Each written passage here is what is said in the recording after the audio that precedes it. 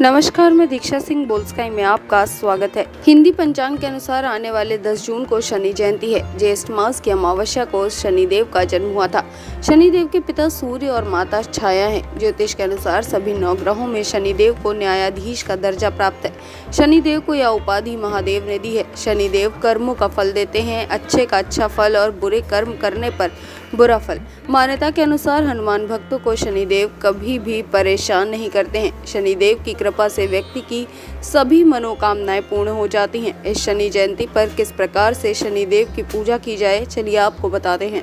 शनि जयंती के दिन ब्रह्म मुहूर्त में उठकर नित्य कर्म से निपट कर शुद्ध हों, स्नान के बाद स्वच्छ वस्त्र धारण करें। फिर हाथ में जल लेकर शनिदेव की पूजा और व्रत का संकल्प लें। एक चौकी पर काला वस्त्र बिछाकर उस पर एक सुपारी रखकर उसके दोनों तरफ़ तेल का दीपक और धूप जलाएँ।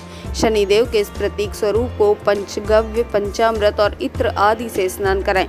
इसके बाद अबीर गुलाल सिंदूर, कुमकुम व काजल लगाकर नीले फूल अर्पित करें। इसके उपरांत तेल में तली वस्तुओं का नैवेद्य अर्पण करें। इसके बाद श्रीफल सहित अन्य फल भी अर्पित करें। पूजन के बाद शनि मंत्र का कम से कम एक माला जप भी करना चाहिए। माला जपने के पश्चात शनि चालीसा का पाठ करें और शनि महाराज की आरती भी करें। शनि देव की पूजा के दिन सूर्योदय से पहले शरीर पर तेल मालिश कर स्नान करना चाहिए।